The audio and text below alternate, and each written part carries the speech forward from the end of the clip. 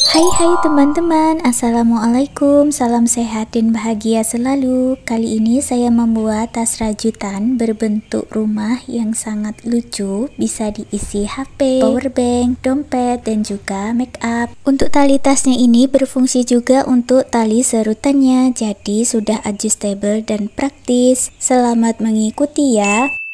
Siapkan alat dan bahannya saya gunakan benang dari Politik Onitsuga dan hooknya 5 per 0 dari tulip.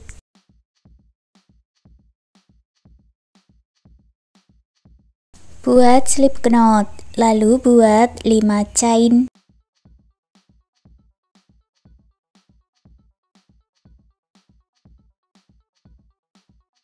Kembali ke chain pertama dan buat slip stitch. Lalu buat dua chain ini untuk awalan dan tidak usah dihitung. Lalu masuk ke dalam magic ring buat 12 double crochet. Jadi yang kita hitung jumlah stitch double crochetnya ya. Di baris pertama berarti ada 12 double crochet.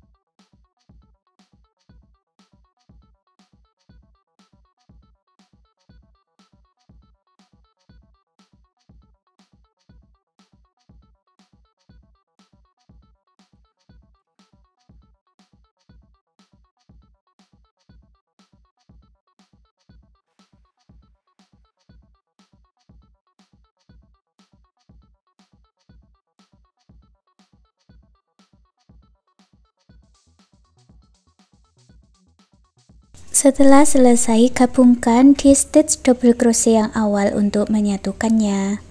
Baris kedua buat awalan 2 chain, lalu isi 12 stitchnya ini dengan 2 double crochet di dalam satu lubang atau double crochet increase atau double crochet ing.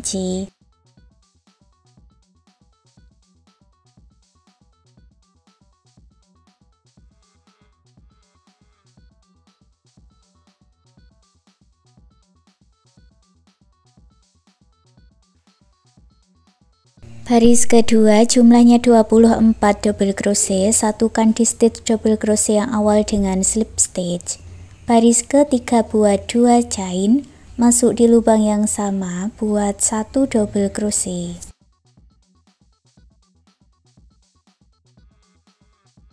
Ke stitch berikutnya buat double crochet ing. Untuk pola baris kedua, buat satu double crochet dan double crochet ing 12 kali. Baris ketiga jumlahnya 36 double crochet, satukan dengan slip stitch.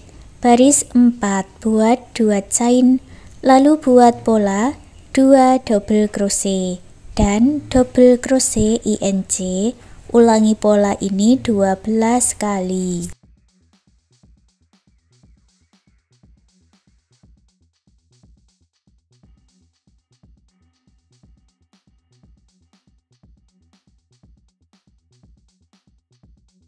Baris keempat jumlahnya 48 double crochet satukan dengan slip stitch. Baris kelima buat 2 chain, lalu buat pola 3 double crochet dan double crochet ing. Ulangi pola ini 12 kali.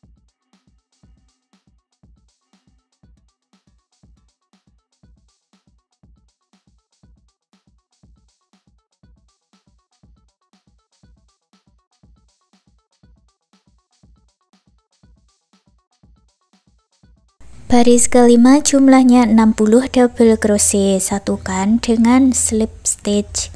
Baris keenam tidak ada penambahan ya. Buat awalan 2 chain, lalu masuk ke bagian back loop atau loop bagian belakang saja. Masing-masing back loopnya diisi satu double crochet.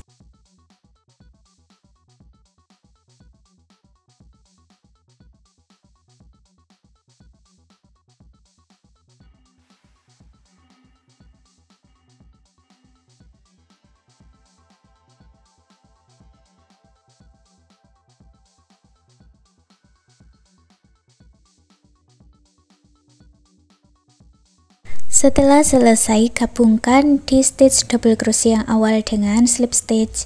Baris ke-7 buat awalan dua chain masuk ke dua stitch buat dua double crochet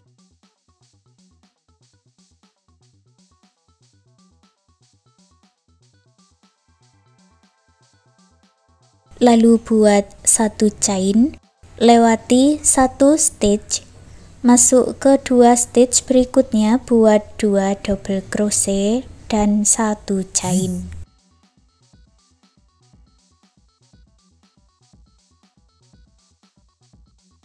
Ulangi lagi lewati satu stitch buat dua double crochet dan satu chain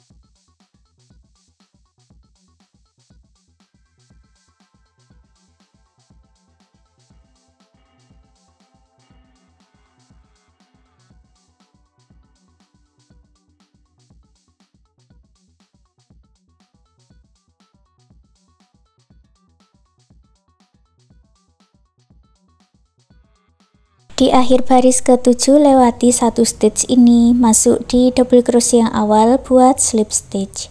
Baris ke-8 buat 2 chain, lalu buat satu double crochet di setiap stitchnya. Jadi nanti jumlahnya ada 60 double crochet.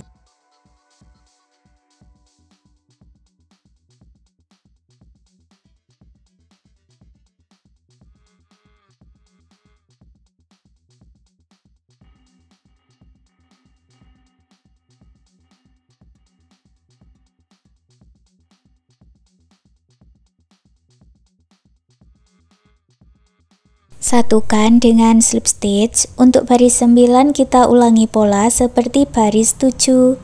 Buat 2 chain, 2 double crochet dan 1 chain.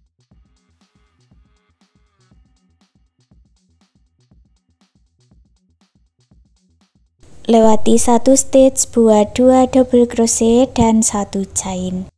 Dari sini selesaikan satu putaran dan akhiri dengan slip stitch. Lalu ulangi membuat satu baris double crochet atau baris 8 dan tinggal mengulang pola di baris 7, 8 seperti itu seterusnya sampai mendapat tinggi yang diinginkan. Untuk motifnya ini saya buat sampai baris ke-21. Setelah selesai, putus benangnya dengan korek, rapikan sisa benangnya.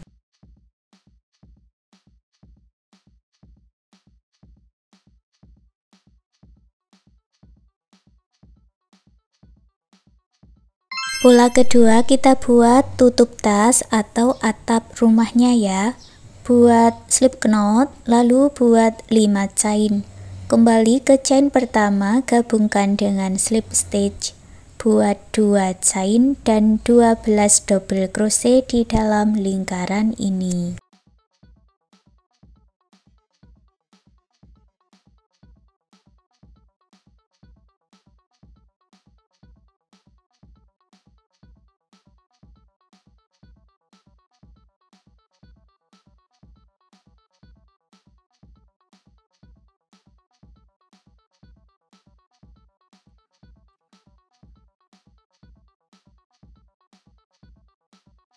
Satukan di double crochet yang awal dengan slip stitch.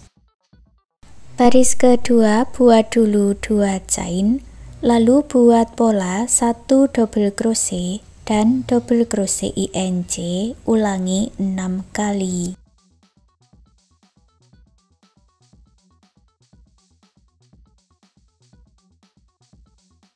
Baris kedua jumlahnya 18 double crochet satukan dengan slip stitch. Baris ketiga buat 2 chain, lalu buat pola 2 double crochet dan double crochet INC 6 kali.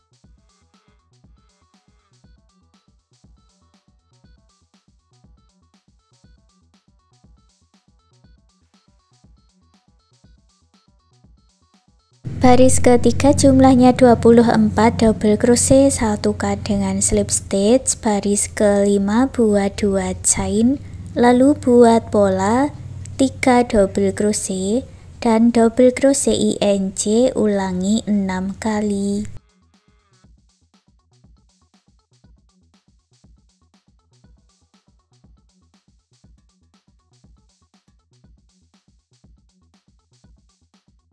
Baris keempat jumlahnya 30 double crochet, satukan dengan slip stitch. Baris kelima kita akan membuat pola lubang tali, buat dulu 2 chain, lalu buat 4 double crochet.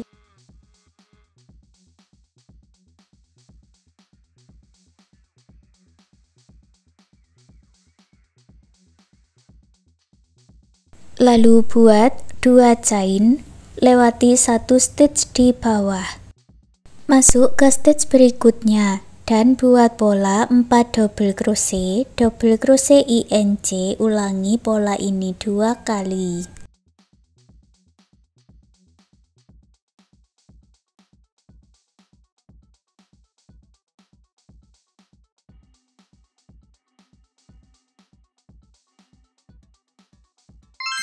Lalu masuk 4 stitch berikutnya buat 4 double crochet.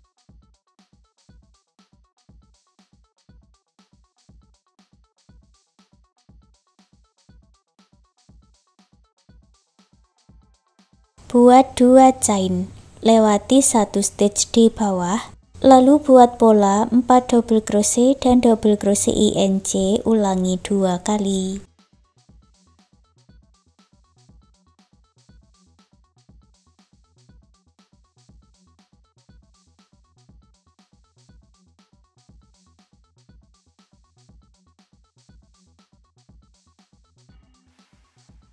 Jadi di baris kelima ada dua lubang seperti ini. Lalu gabungkan dengan slip stitch. Baris ke-6. Buat dua chain, lalu buat 4 double crochet.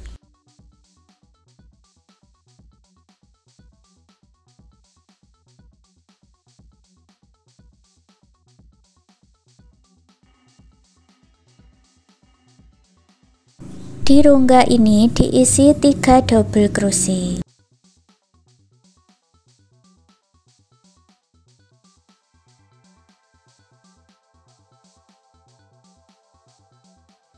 Lalu buat pola 5 double crochet dan double crochet INC dua kali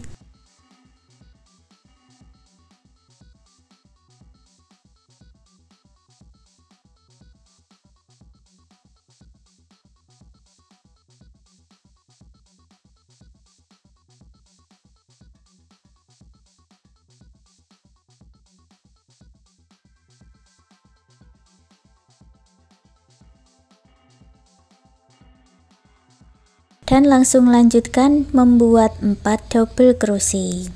Setelah sampai di bagian rongga diulang lagi polanya ya buat 3 double crochet lalu buat pola 5 double crochet dan double crochet INC diulang dua kali. Untuk baris ke-6 ini jumlahnya 42 double crochet satukan dengan slip stitch. Baris ke-7 buat 2 chain lalu buat 3 double crochet.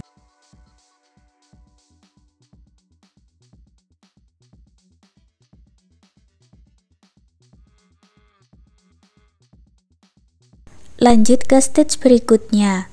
Buat double crochet INC dan 6 double crochet. Ulangi pola ini 5 kali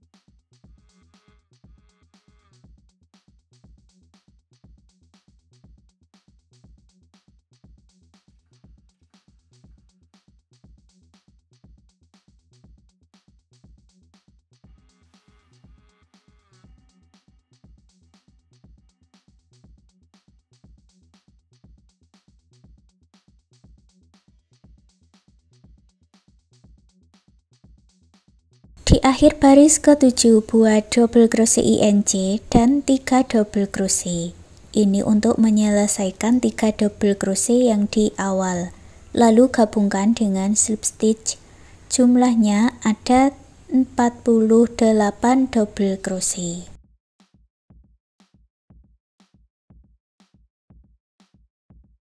Baris ke-8 buat 2 chain, lalu buat pola 7 double crochet dan double crochet INC ulangi pola ini 6 kali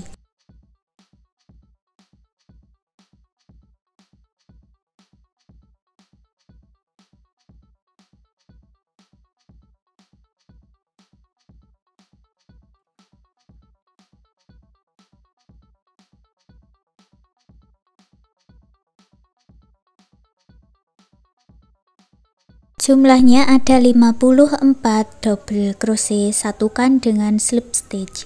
Baris ke-9 buat 2 chain, lalu buat 4 double crochet.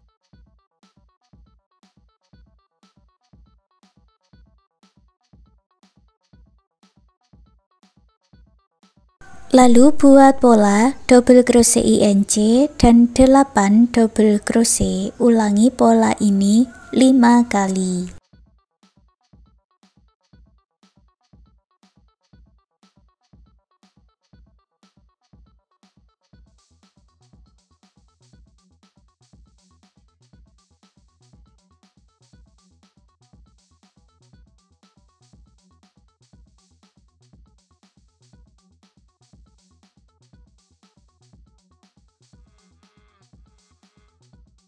Di akhir baris 9 buat double crochet INC dan 4 double crochet.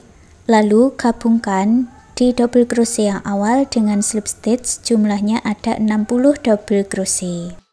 Baris ke-10 buat satu chain lalu buat satu single crochet di setiap stitchnya. Jadi jumlahnya ada 60 single crochet.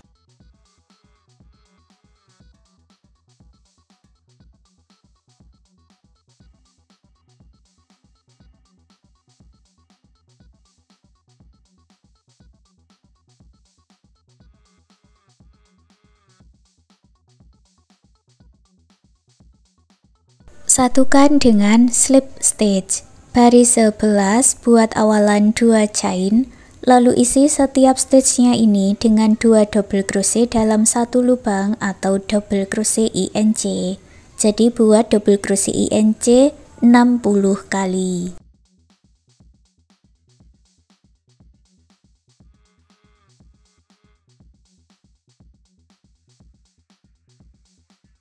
Setelah selesai akhiri dengan slip stitch, putus benangnya dengan korek, rapikan sisa benangnya.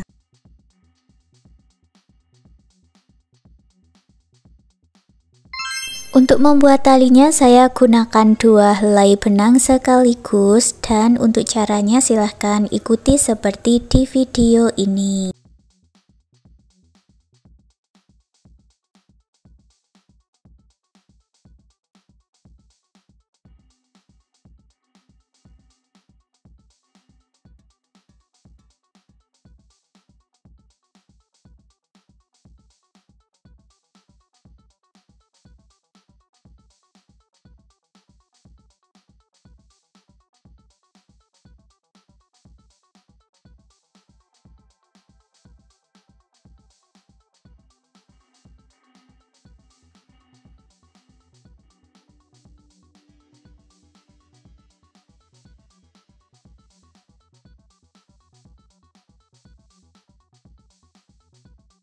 Panjang talinya saya buat kurang lebih 120 cm, lalu putus benangnya dengan korek, rapikan sisa benangnya.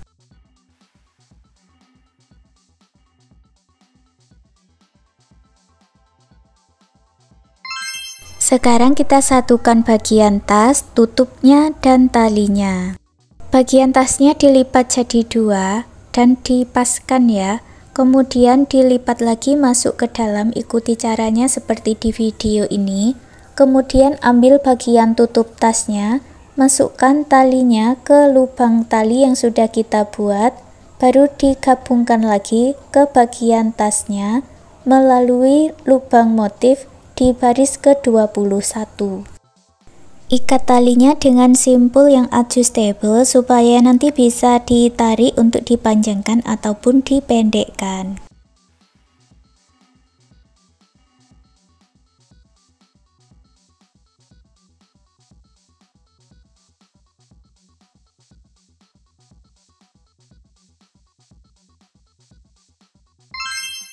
Untuk membuat pintunya buat slip knot, lalu buat 12 chain. Lewati 4 chain dari ujung, masuk ke chain berikutnya buat 7 double crochet.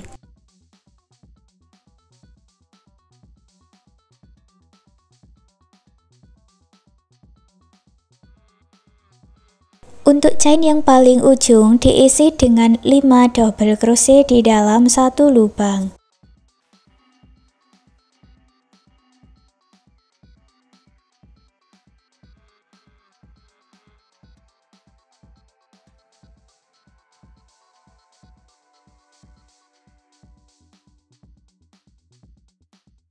Lalu masuk ke sisi sebelahnya, buat 8 double crochet.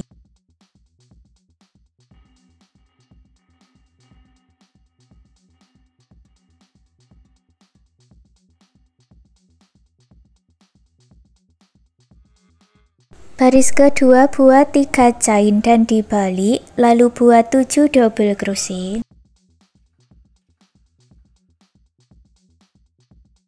Ke 5 stitch berikutnya buat double crochet INC.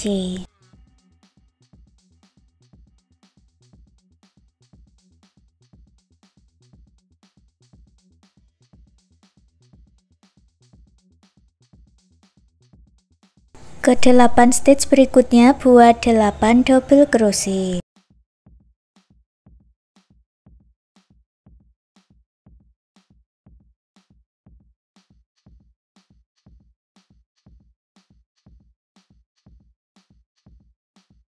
Di double crochet yang terakhir, ambil benang warna lain untuk menyelesaikannya. Baris ketiga buat satu chain dan dibalik, Lalu buat pola satu single crochet satu chain di setiap stitchnya ini.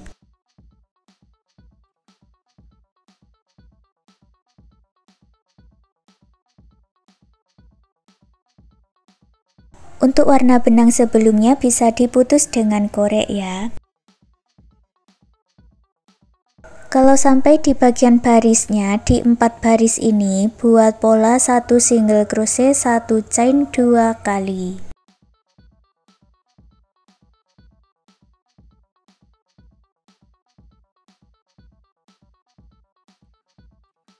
Akhiri dengan slip stitch, sisakan benang yang panjang, kemudian putus benangnya dengan korek. Sisa benangnya ini akan digunakan untuk menjahitnya nanti. Untuk pola bunga ini caranya seperti baris pertama Untuk bagian kelopak buat 3 chain Masuk ke stitch berikutnya buat 2 double crochet. Ke stitch berikutnya lagi buat 2 double crochet Dan buat 3 chain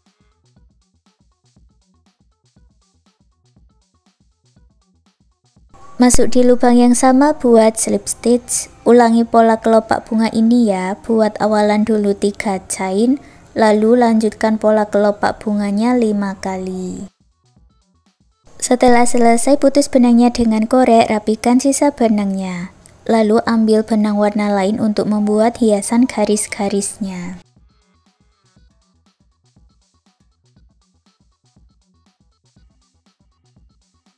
Lalu satukan bagian pintu dan bagian bunganya ini menggunakan jarum tapestry.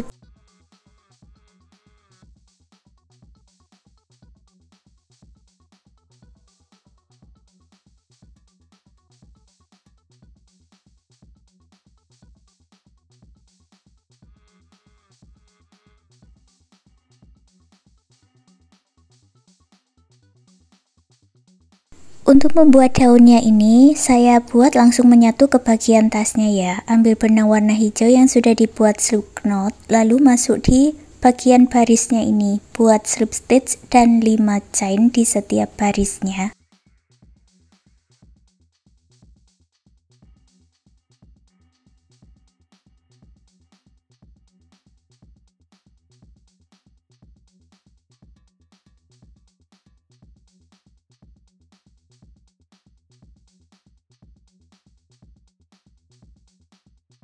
Kalau untuk pola daun kecil-kecil, buat dulu 4 chain, masuk di chain pertama, buat satu double crochet, lalu buat 3 chain, masuk di chain pertama buat slip stitch atau picot. Lanjut lagi buat 3 chain, masuk di chain yang sama dengan awalannya, gabungkan dengan slip stitch. Buat 5 chain masuk ke lubang baris buat slip stitch ulangi membuat pola rumput dan daunnya ini sesuai yang kalian inginkan kalau punya saya nanti akan saya buat memutar di bagian pintunya ini ya dan sekarang tas rajutannya sudah jadi. Terima kasih sudah mengikuti video ini. Semoga suka dan bermanfaat.